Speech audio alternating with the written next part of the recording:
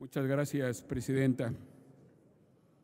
Para orientación de los compañeras y compañeros legisladores.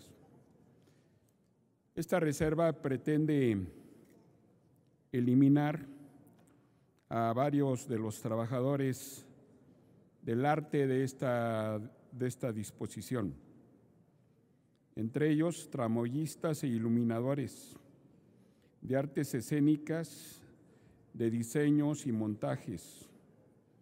También se pretende eliminar a los gestores culturales y algunos otros.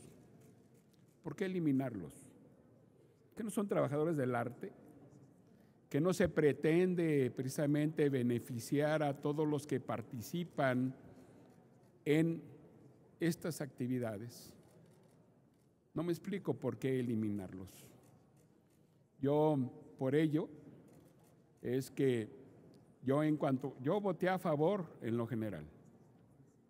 Y en esta reserva voy a votar en contra de, esta reserva porque se me hace injusto que a estos trabajadores no les estén dando este beneficio que estamos aprobando en este Senado de la República.